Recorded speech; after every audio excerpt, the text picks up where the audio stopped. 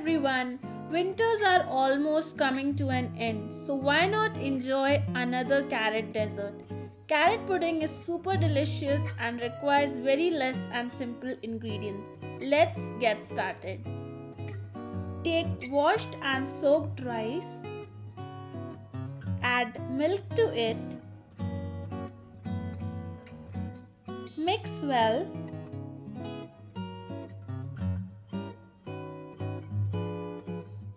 Grind it into a fine paste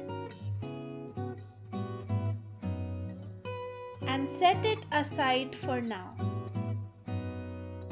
In another bowl, take grated carrots,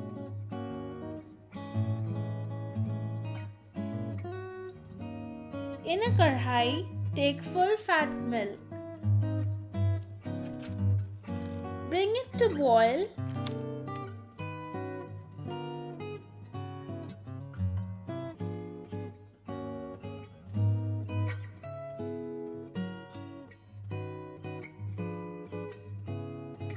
add cardamom powder, add the ground rice mixture,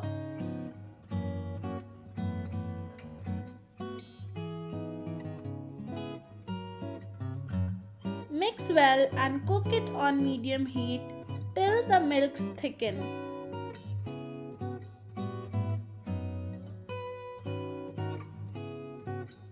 Add grated carrot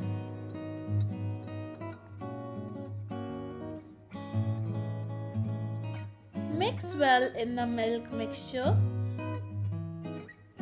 Cook for 10 to 12 minutes on low heat. Keep stirring to avoid lumps.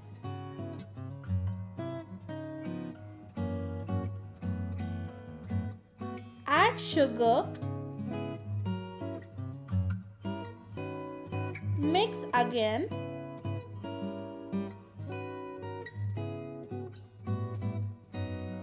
Add 2 drops of Kevra essence. Cook for another 2 minutes and close the heat.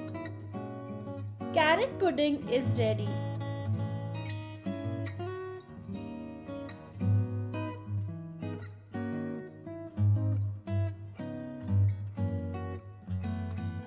Garnish with chopped nuts and serve it warm.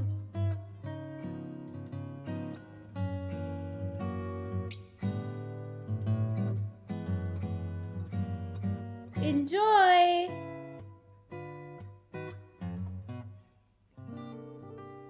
Don't forget to subscribe to my channel and hit the bell icon. Bye bye.